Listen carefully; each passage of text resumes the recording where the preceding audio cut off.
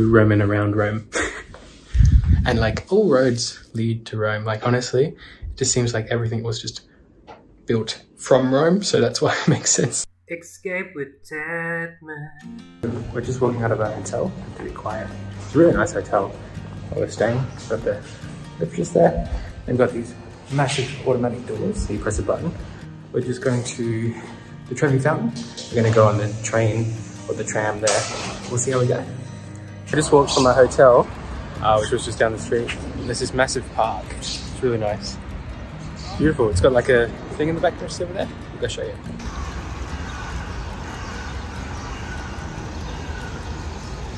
Into the unknown. Uh, so we're just going to the subway. It's underneath the park next to us. But we found it. Um, it's very safe around here.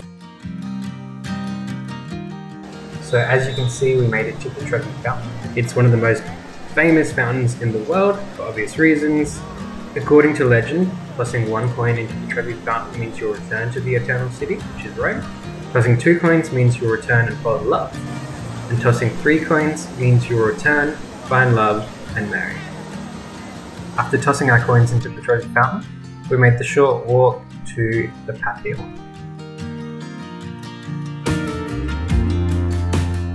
Just at the Pantheon. It's really cool. It's free to go in, but they're just having mass right now, so we might not go in. So if you're not sure what the Pantheon is, it is a church, first and foremost. It is one of the best preserved monuments of ancient Rome. The structure was completed around 126, 128 AD. I stumbled upon this, and look, it's like the Sistine Chapel in the roof. How cool. that is so cool, guys. So there's a line behind me, and there is a mirror. There is a mirror just there. So what you do is you come here, you stand at the mirror, you take your selfie, and then it looks like you're standing with the angels. All the churches in Rome are free access, so as long as you go on the right day, you can get in for free. Um, make sure you wear suitable clothing. They won't let you in if you have shorts or skirts on or anything like that. So make sure you put some pants on, jeans, or whatever it may be.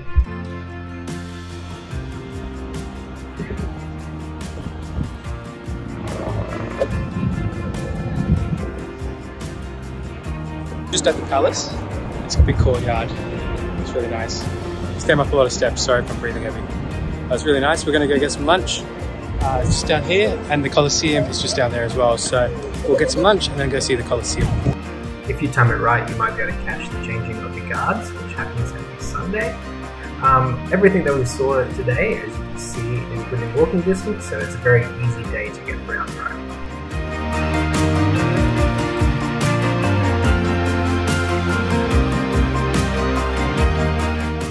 So we just found the birthday cake building, that's what they call it, the locals. I'll let you know the real name on the screen. And then just down here is the Colosseum. So when you find this, you'll find the Colosseum pretty easily. Big walk and the Roman Forum is right next to the Colosseum. Uh, beautiful, look at that, it's massive.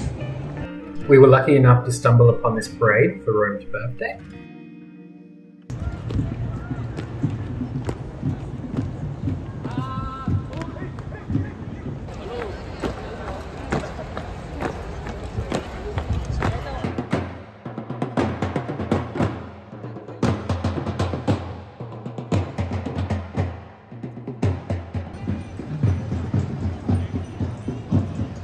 Look how lucky we are, we get to walk up here as well. so cool. This massive building was built between 1885 to 1935 to honour the late great Victor Emmanuel II, which was the first king of unified Italy in Rome. There is no entry fee, so it is free to get inside. If you want to go up this elevator, there will be a line at the back of the building and it costs 10 euro and you have amazing views of the city.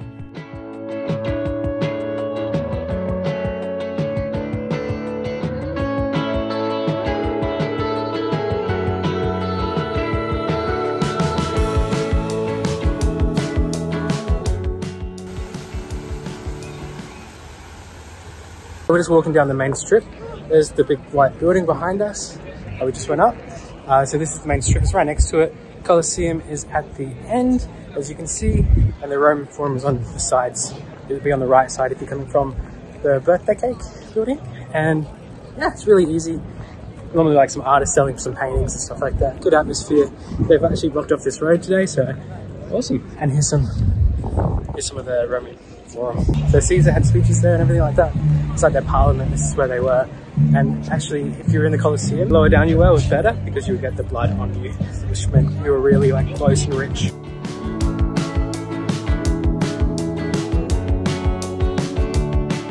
You have to have the Roma pass to go into some of these things. Um, since it's so busy because of the parade and stuff, I think it's sold out. So we'll just see what we can do. We can get in. Uh, we couldn't get into the Roman Forum. We're going to see if we can get into the Colosseum. Otherwise, we can look at it from the outside. I found this really interesting. I thought I would just include it in the vlog. Um, this is some street art. So you just watch as they pretty much make this beautiful art in front of your eyes. Um, this is sped up, obviously. And then you can buy it from them. It's really cool. They're really talented. There's all of these people around everywhere. Um, so make sure you do haggle and get a good price.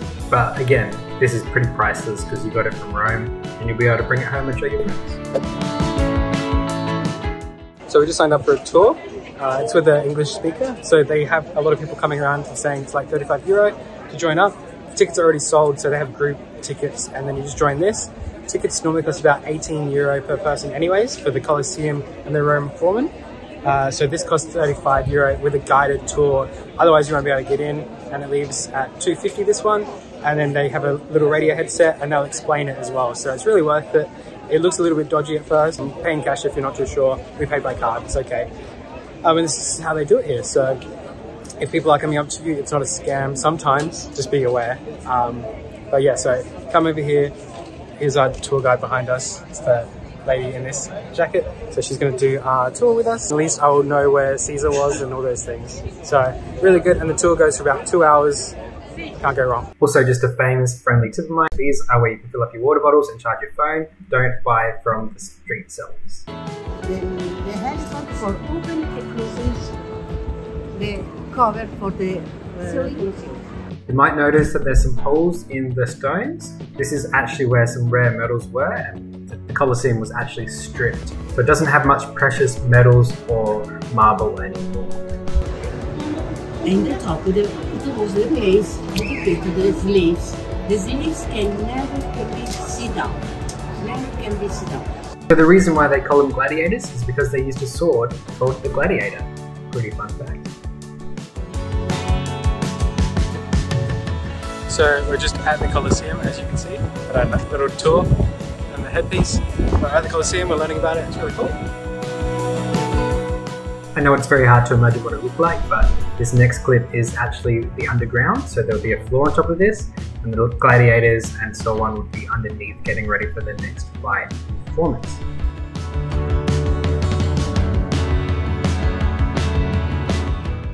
Colosseum's behind us, as you can see and we're just walking to the Palatine Hill. So Palatine Hill is right next to the Colosseum. It also includes the Roman Forum. Definitely check it out. It's literally right next to it, so you can't miss it. Um, you do need the ticket to get in here as well. So this is where our tour guide left us, but they get you access inside, and then you're free to explore.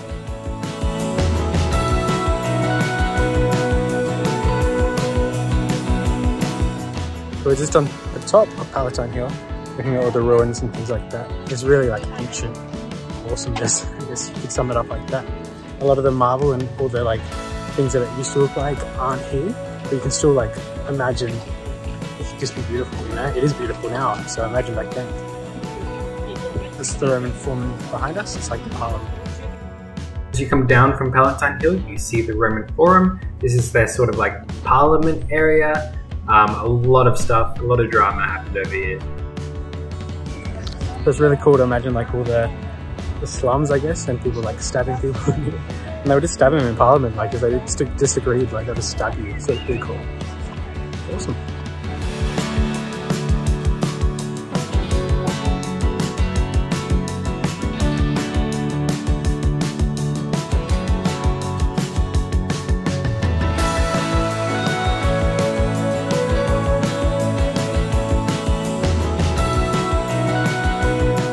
That was the Roman Forum. Send you some clips. I'll probably do a voiceover of some of the things that you have to learn. Uh, we're heading back, it's about a 10 minute walk to our hotel from the Colosseum. So that's our day. We'll see you tomorrow. We're probably going to the Vatican tomorrow. Um, we're just gonna explore and see what happens and come along for the escape. So we just got back and we're at the hotel, just cooking up the remainder of the pasta and using the leftover meat from yesterday. That'll be our dinner. Trying to keep it a little bit cheap with the, the eating out, I guess. Um, we did eat out for lunch today. And yeah, so we're going to the Vatican tomorrow. Get there before nine o'clock because it gets really busy after nine o'clock. So the line will take about 20 minutes. It's free. Hopefully about 20 minutes. Between seven and nine, it should take about 20 minutes, they say online. Um, anything, anytime after that, it takes a few hours. So try to get there before nine. Um, unless this video goes viral, do the opposite because everyone will be going there before nine. So uh, yeah, so that's our day tomorrow. We're going to go to the Vatican. We have to catch the subway, uh, which we did this morning. We nailed that. Make sure you have cash because they didn't have uh, cardless on the ticket machine. So that sort of stuffed us up because we only had a $50, $50 note and then we had to get it changed. So that took us a little bit longer, but it worked out well because we got to see the parade. And the parade was because of Rome's birthday. So there's 2,775 years old. I think I got that right. Really old, either way. Um, so they'll just doing their little parade down the Colosseum Road. Really nice. But I'll see you tomorrow on the escape. Please join us. Good morning, everyone. Uh, so we're just walking from our hotel, which is behind us. We're walking to the train, uh, the subway, and we're gonna catch it to the Vatican City. And there's a few other things that we're gonna see today, so come along for the escape. Here's the subway. So you just jump on a train on the ground, and it takes you pretty much straight to everything.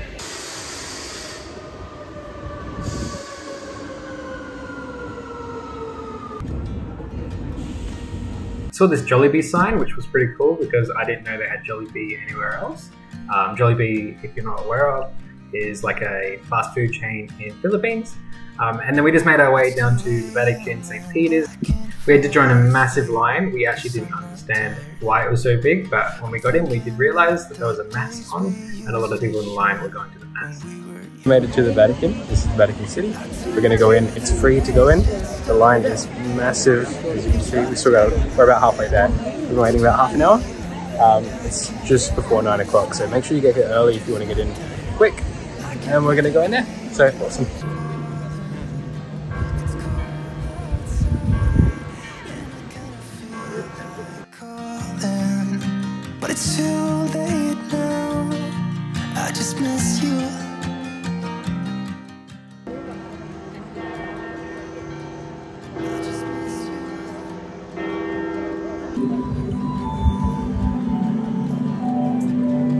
Wow.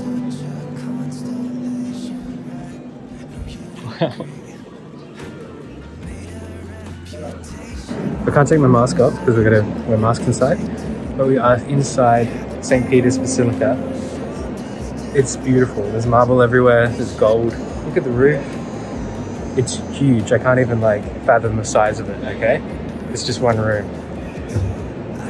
It's so. If you're not religious, in a place like this, you feel a little bit like religious. You know, it's really like holy.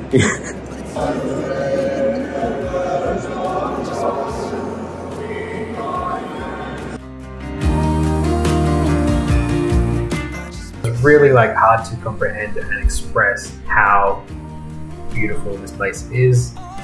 The footage just doesn't do it justice. Everywhere you looked, everywhere you turn, there's something new, something amazing to see. One of the most beautiful places I've ever seen. Highly recommend. It's free. What are you waiting for? Go to Rome. So I'm just in the corner, like to show you guys everything. So honestly, in the archways, there is these big, uh, everyone behind me, there's these big murals. It's like the Sistine Chapel in here, honestly. Um, absolutely crazy, gold everywhere, massive pillars, marble on the floor, like it's ridiculous. Um, they're gonna have a mass in the morning. It's gonna start at 10 a.m. They have five masses a day um, changing at different times and stuff like that. But when you do get here, try to get here before nine o'clock because the line was really big. You gotta you gotta go through security and stuff like that. But honestly, this place makes you feel something like if even if you aren't religious, you know, it's it's something just to to be in something like this, like this house of God. It's ridiculous. Um, but yeah, so it makes you feel shivers. I'm a little bit religious, but when I'm here, I definitely feel more spiritually connected. Um, but honestly, I can't film enough. It's so beautiful, so beautiful. One of the places that you must visit in Rome. It's free to get in as well. So make sure you have it on your list. It is free, but don't come, don't come on a Sunday because sometimes they have their masses and it won't be open. It's honestly, everywhere you look, something beautiful. Beautiful is like, not even the word to describe it. It's like stunning. Just everywhere. Like everywhere. We just finished up inside the Vatican, St. Peter's. Um, we're just walking down this road in front of it now. We're gonna head to his fortress, which is just down the end. It's like a castle. Just in case anything happens, it's his fortress. So you can see why Pope uses this as his fortress. The Vatican is just down there, St. Peter's. And this is his castle that he goes to. If anything goes wrong, he's got his royal guard as well, his Pope's guard, and they'll take him here. It's literally a fortress. They can seal off the city as well. There's walls around the city. It's really, really cool. It's its own little thing.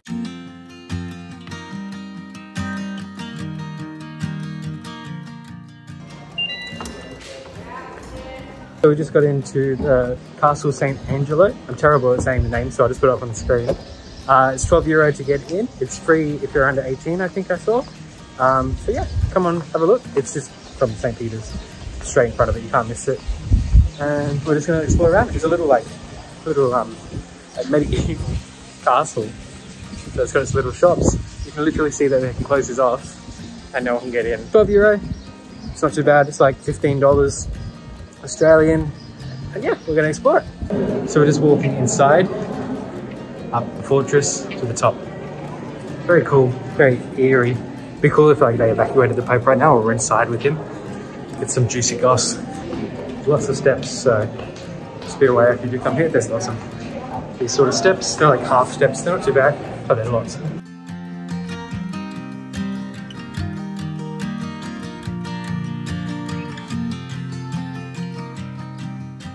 Can really see why the Pope would be evacuated here if anything was to go wrong. You have views of the whole city, you can actually see the birthday cake and the Colosseum. The views were really good, but I don't think it was worth the entrance fee. You can't go in too many rooms, you do get to see a little bit of art and stuff, but you don't get to explore the whole fortress.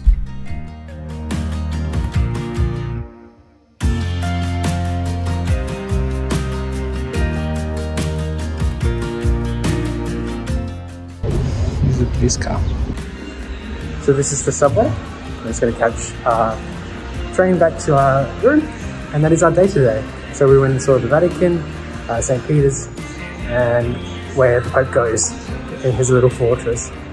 We are heading to Naples tomorrow, so we'll see you in Naples and enjoy the escape.